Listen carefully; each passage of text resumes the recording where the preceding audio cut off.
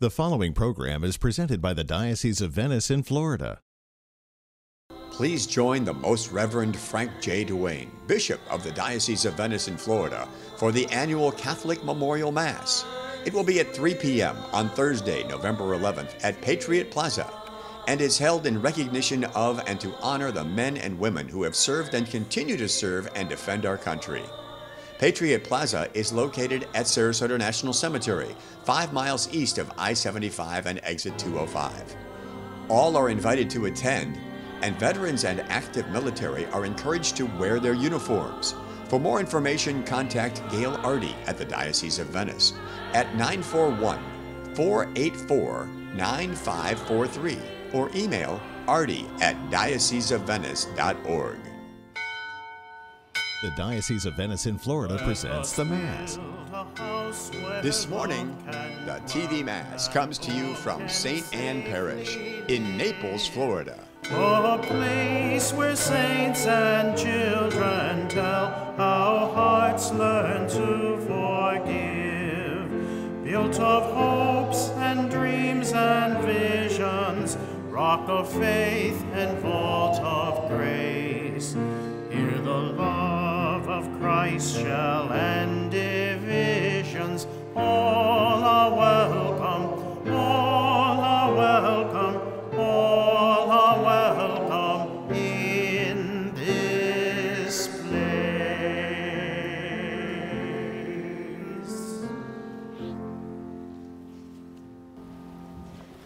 Good morning and welcome. Morning, Father. And so let us continue to give glory and praise to our God by calling upon his name, through his Father, Son, and Holy Spirit. Amen. The grace and peace of our Lord Jesus Christ, the love of God, and the communion of the Holy Spirit be with you all. And with your spirit. And so, for a few moments, let us reflect on how we have lived in the presence of our God, loving one another as God indeed loves us. Lord Jesus, you came to gather the nations into the peace of God's kingdom. Lord, have mercy. Lord, have mercy. Lord Jesus, you feed us with your body and blood to strengthen and to nourish us. Christ, have mercy. Christ, have mercy. Lord Jesus, you will come again in glory with salvation for your people. Lord, have mercy. Lord, have mercy. And may Almighty God have mercy on us, forgive us our sins, and bring us to everlasting life. Amen. And so we continue to give glory and praise to our God by proclaiming, Glory to God in the highest, and on earth peace to people of good will. We praise you, we bless you, we adore you, we glorify you, we give you thanks for your great glory. Lord God, heavenly King, O God Almighty Father, Lord Jesus Christ, only begotten Son, Lord God, Lamb of God, Son of the Father, you take away the sins of the world, have mercy on us. You take away the sins of the world, receive our prayer. You are seated at the right hand of the Father, have mercy on us. For you alone are the Holy One, you alone are the Lord, you alone are the Most High, Jesus Christ, with the Holy Spirit, and the glory of God the Father. Amen. And so we pray.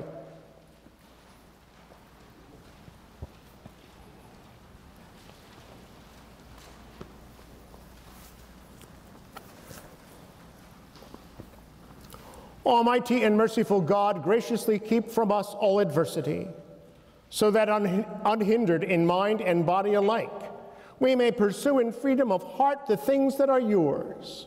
For we ask this through our Lord Jesus Christ, your Son, who lives and reigns with you in the Holy Spirit, God forever and ever. Amen. A reading from the first book of Kings. In those days, Elijah the prophet went to Zarephath. As he arrived at the entrance of the city, a widow was gathering sticks there. He called out to her, Please bring me a small cup full of water to drink. She left to get it, and he called after her, Please bring along a bit of bread. She answered, As the Lord your God lives, I have nothing baked.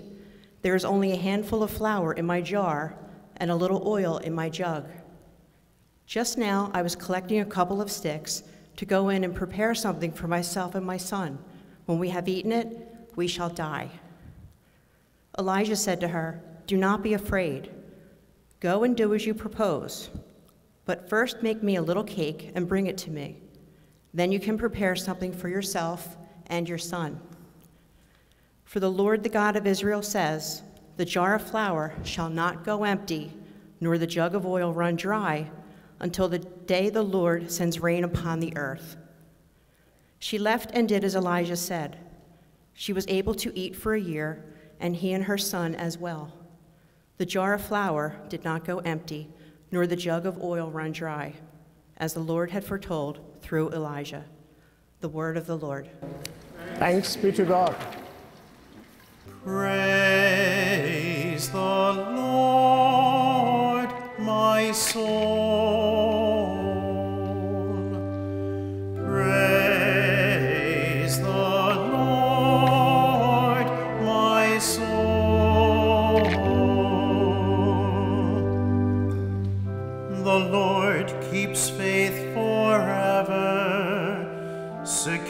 Justice for the oppressed, gives food to the hungry. The Lord sets captives free. Praise the Lord, my soul.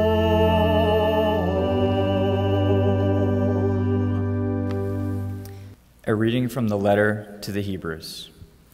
Christ did not enter into a sanctuary made by hands, a copy of the true one, but heaven itself, that he might now appear before God on our behalf. Not that he might offer himself repeatedly, as the high priest enters each year into the sanctuary with blood that is not his own. If that were so, he would have to suffer repeatedly from the foundation of the world. But now, once for all, he had appeared at the end of the ages to take away sin by his sacrifice. Just as it is anointed that human beings die once, and after this the judgment, also so Christ, offered once to take away the sins of many, will appear a second time, not to take away sin, but to bring salvation to those who eagerly await him. The word of the Lord. Alleluia, Alleluia,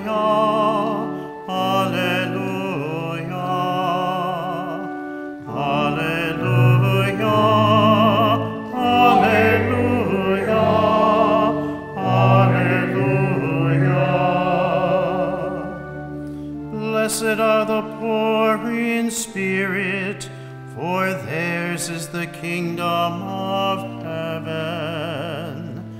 Alleluia, Alleluia.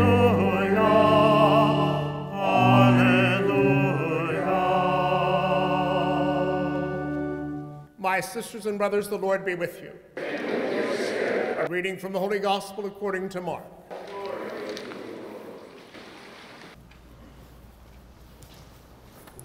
In the course of his teaching, Jesus said to the crowds, Beware of the scribes who like to go around in long robes and accept greetings in the marketplaces, seats of honor in synagogues, in places of honor at banquets. They devour the houses of widows as a pretext, recite lengthy prayers. They will receive a very severe condemnation. He sat down opposite the treasury and observed how the crowd put money into the treasury. Many rich people put in large sums. A poor widow also came and put in two small coins worth a few cents. Calling his disciples to himself, he said to them, Amen, I say to you, this poor widow put in more than all the other contributors to the treasury, for they have all contributed from their surplus wealth. But she from, their she from her poverty has contributed all she had, her whole livelihood. The Gospel of the Lord.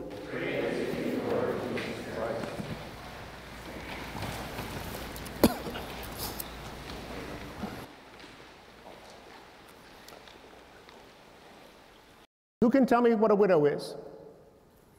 Yes, young man, stand up. A woman who lost her husband. Exactly, a woman who lost her husband.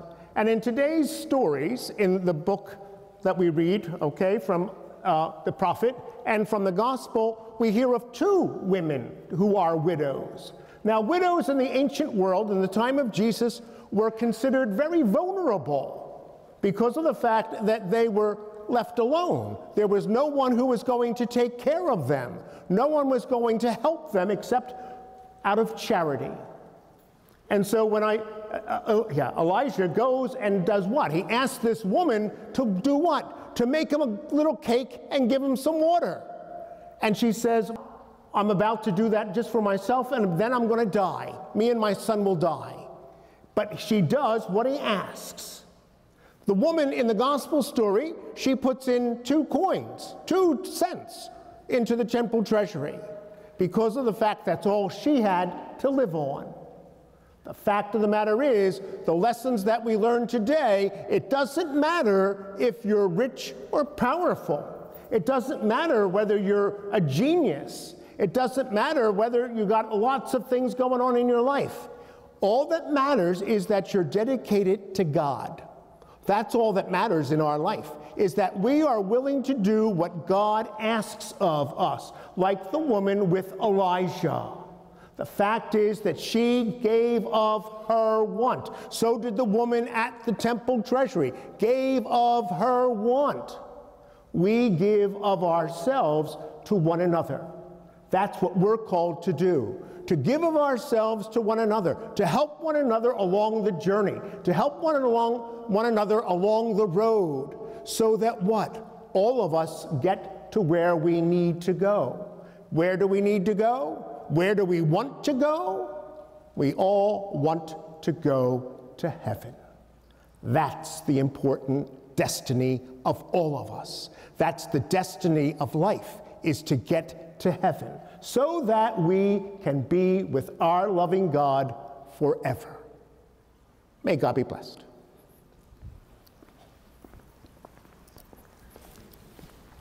As we have gathered in faith, let us profess our faith. I believe in one God, the Father Almighty, maker of heaven and earth, of all things visible and invisible. I believe in one Lord, Jesus Christ, the only begotten Son of God born of the Father before all ages, God from God, light from light, true God from true God, begotten, not made, consubstantial with the Father, through him all things were made.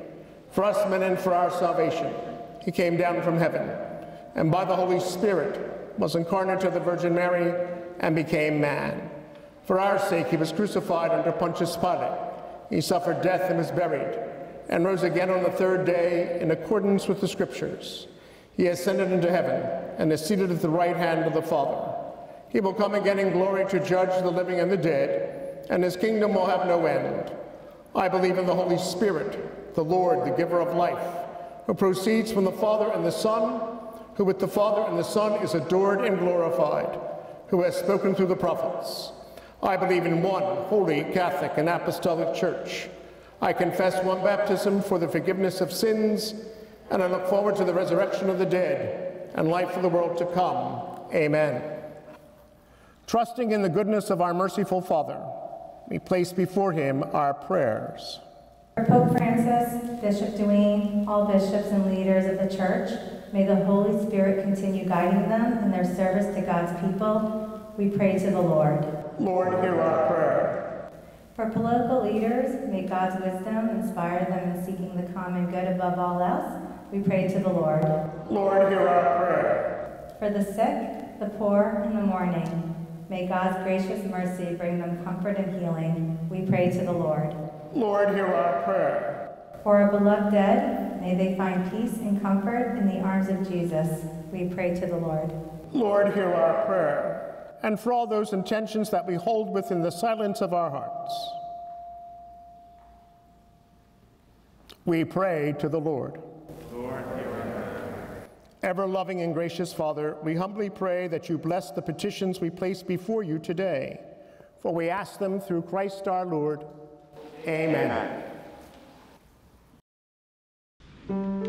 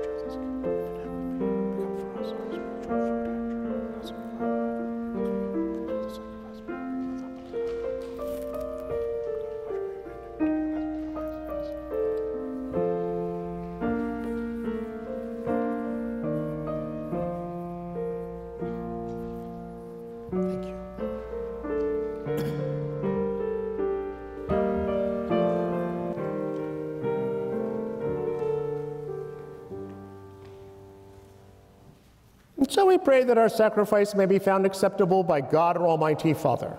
May the Lord accept the sacrifice at your hands for the praise and glory of his name, for our good and the good of all his holy church. Look with favor, we pray, O Lord, upon the sacrificial gifts offered here, that celebrating in mystery the passion of your Son, we may honor it with loving devotion. For we ask this through Christ our Lord. Amen. Amen. The Lord be with you. And with your spirit, Lift up your hearts. we lift them up to the Lord. Let us give thanks to the Lord our God. It is right and just. It is truly right and just, our duty and our salvation, always and everywhere to give you thanks, Lord, Holy Father, Almighty and eternal God, through Christ our Lord. His death we celebrate in love. His resurrection we confess with living faith. And his coming in glory we await with unwavering hope. And so, with all the angels and saints, we too praise you, as without end we acclaim. Holy,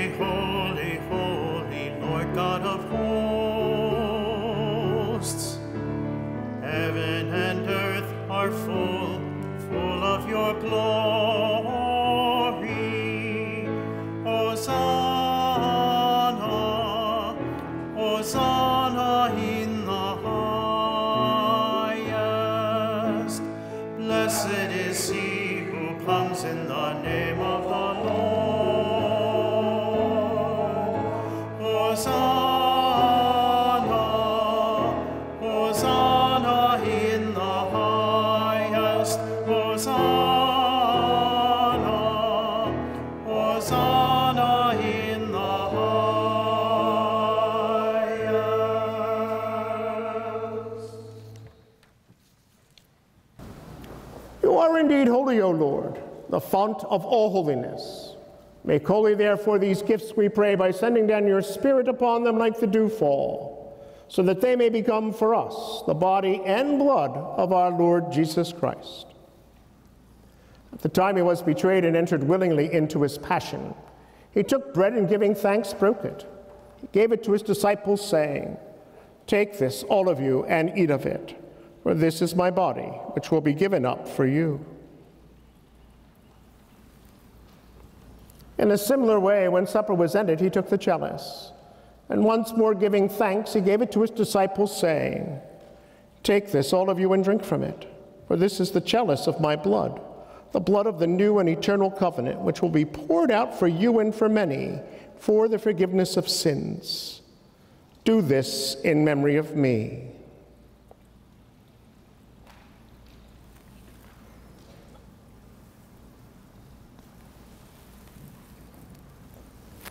The mystery of faith.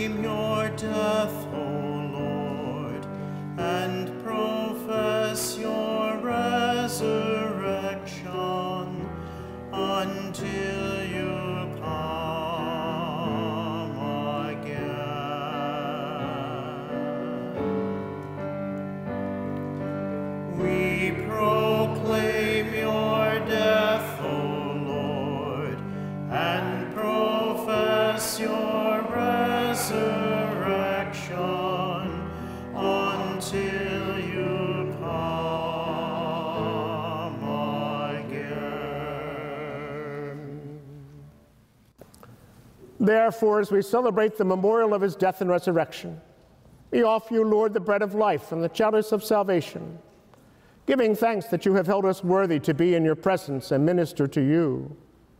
Humbly we pray that partaking of the body and blood of Christ, we may be gathered into one by the Holy Spirit. Remember, Lord, your church spread throughout the world and bring her to the fullness of charity together with Francis our Pope, Frank our Bishop, and all who minister in your name. Remember also our brothers and sisters who have fallen asleep in the hope of the resurrection, and all who have died in your mercy. Welcome them into the light of your face. Have mercy on us all, we pray, that with the Blessed Virgin Mary, Mother of God, Blessed Joseph, her spouse, with your blessed apostles, glorious martyrs, and in all the saints who have pleased you throughout the ages, that we may merit to be co heirs to eternal life, and may praise and glorify you through your Son, Jesus Christ. Through him and with him and in him, O God Almighty Father, in the unity of the Holy Spirit, all glory and honor is yours forever and ever.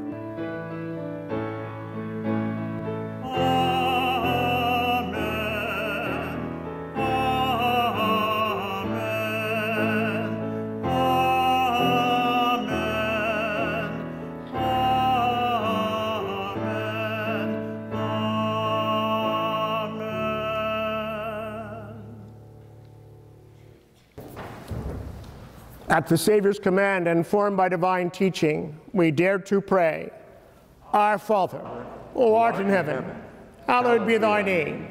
Thy kingdom come, thy will be done, on earth as it is in heaven. Give us this day our daily bread, and forgive us our trespasses, as we forgive those who trespass against us. And lead us not into temptation, but deliver us from evil. Deliver us, Lord, we pray, from every evil. Graciously grant peace in our days, that by the help of your mercy, we may be always free from sin and safe from all distress, as we await the blessed hope and the coming of our Savior, Jesus Christ. For the kingdom, the power, and the glory are yours, now and forever. Lord Jesus Christ, you said to your disciples and to us, I leave you peace, my peace I give you. Look not on our sins, but on the faith of your church and grant us the peace and unity of your kingdom, where you live and reign forever and ever. Amen. The peace of the Lord be with you always. Let us offer to one another a sign of God's love and his peace.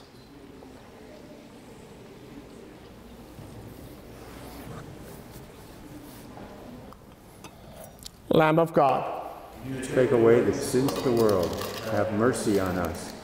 Lamb of God, take away the sins of the world. Have mercy on us. Lamb of God, take away the sins of the world. Grant us peace. behold the Lamb of God. Behold him who takes away the sins of the world. Blessed are those called to the supper of the Lamb. O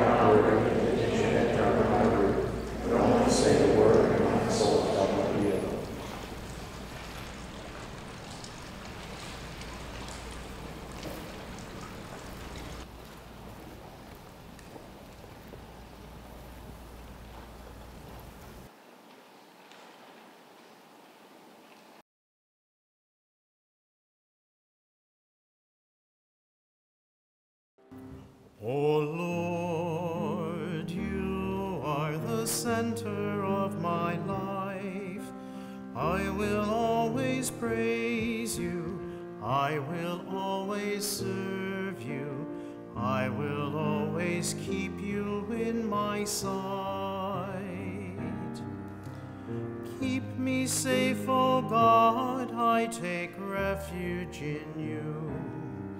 I say to the Lord, You are my God.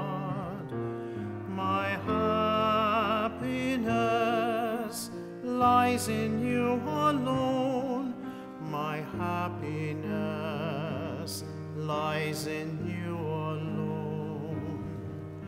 O Lord, you are the center of my life. I will always praise you. I will always serve you. I will always keep you in my sight. I will bless the Lord who gives me counsel, at night directs my heart. I keep the Lord ever in my sight, since he is at my right hand, I shall stand firm. O Lord, you are the center of my life. I will always praise. I will always serve you. I will always keep you in my sight. And so we conclude our prayer.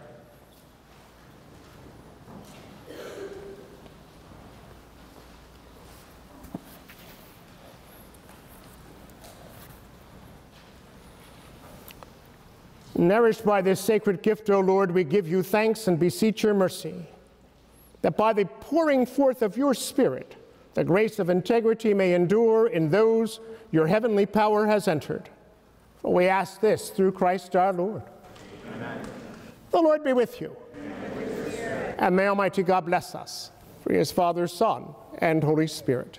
Amen. We go in peace. Thanks be to God. Have a great day. You too, Father. Thank you.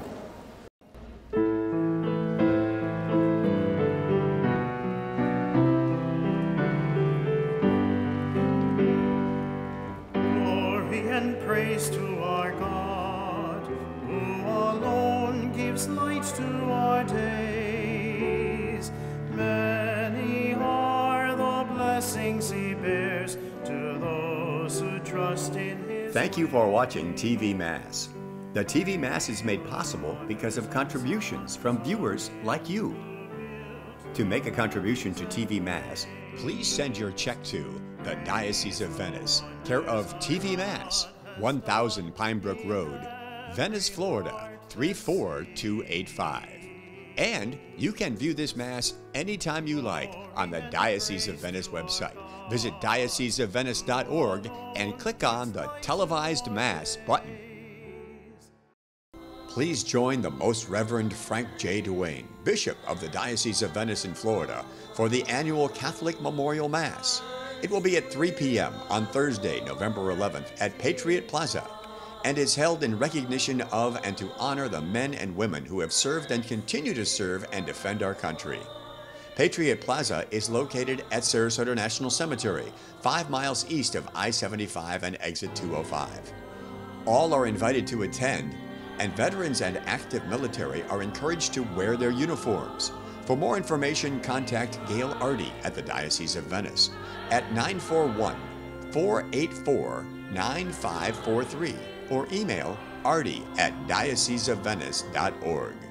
Many are the blessings he bears to those who trust in his way.